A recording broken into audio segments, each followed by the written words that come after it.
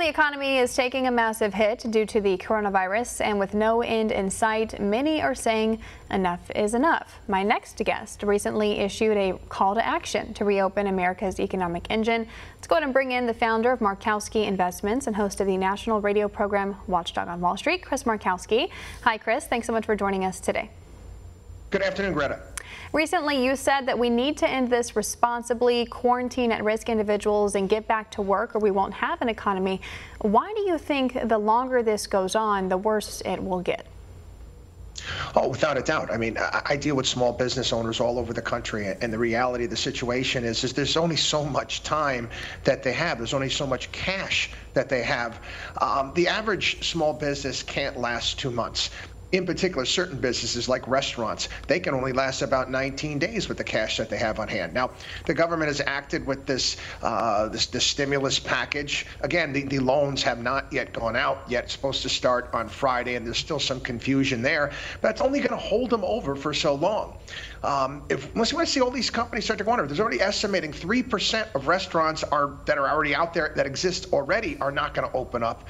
Uh, we have to slowly but surely do this. Um, there's responsible ways we can do social distancing. I go to a grocery store, they only allow so many people within the grocery store at a certain period of time. Uh, we can do this little by little, not just with restaurants, but with also retail as well. Chris, President Trump warned Tuesday that we have a very painful two weeks ahead. What are you expecting to see on the economic front as we continue to face this virus? It's one of those those scary things. It's like a scary movie. You want to hide your head and you want to take a look at the economic numbers. But we all know that they're going to be bad. Uh, and it's not just that. It's also people waking up and seeing the totals add up. And, and unfortunately, I think some of the numbers that we're seeing right now, obviously the increase in, in the amount of people that have been have uh, contracted uh, the disease, I think we're going to see those numbers go up. But those are also tests that were taken a couple weeks ago and people still haven't received whether or not they've gotten it yet. So those numbers are going to continue to rise rise. I also think we're going to see the mortality uh, drop considerably. Uh, when all's said and done, it was actually interesting. They, they, all the underreporting that took place in China, uh, they're saying that the mortality could be under 1% there. And, and hopefully, we're keeping our fingers crossed that's the way it's going to be here as well. Chris, earnings season set to begin soon for the first quarter. Really rough first quarter, of course, for Wall Street, and going to be a rough first quarter for many companies around the country. Second is expected to be the worst. How can investors interpret these first quarter earnings and guidance for the future? I tell you what I, what I do, um, and what I tell my clients to do is when you're taking a look at your portfolio and you're, you're looking at the companies that you have in there, when you're when you're facing a situation like we have today, the only thing you don't look at the stock price, you don't even pay attention to any of that. You look at the company and say, are these good companies that I own?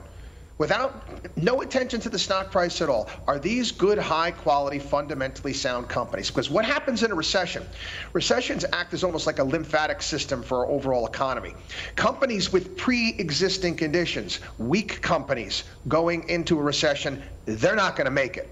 You own solid companies on the other side, you're going to be fine. What's your advice uh, for people looking to play the long game here for on this uh, dip for Wall Street? That's that's the only game that I really know how to play. I, I do do trading. That that's not what we do at Markowski Investments. Uh, it's not what we do with our clients. We're always looking at the fundamentals long term.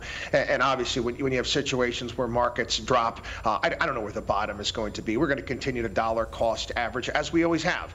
Uh, it worked. Uh, how many uh, different times I've had to deal with uh, bear markets in my career? What is this fourth or fifth?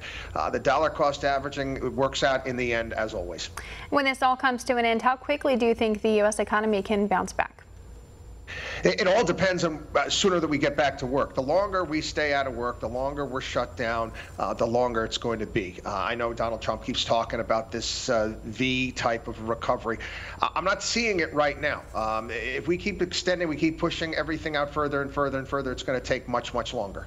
All right, Chris Markowski, the founder of Markowski Investments and host of the national radio program Watchdog on Wall Street, joining us to talk about the economy amid the COVID-19 outbreak. Thanks so much for coming on the show today, Chris. Want to see more videos like this? Click on the link below and subscribe to One America News on YouTube and call your cable provider and kindly demand that One America News is added to your lineup. Call and subscribe today.